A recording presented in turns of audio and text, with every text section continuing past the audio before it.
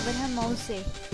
प्रदेश सरकार ने UP STEMI award की एक स्कीम चला रही है, जिससे प्रदेश भर डॉक्टरों को बुलाया जाता है और भी अपने ज़िले में हार्ट मरीजों की जान बचाया होता है, उन्हें सम्मानित किया जाता है।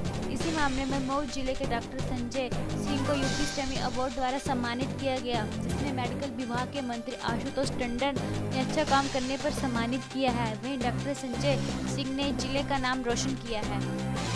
मऊ से बिनी श्रीवास्तव की स्पेशल रिपोर्ट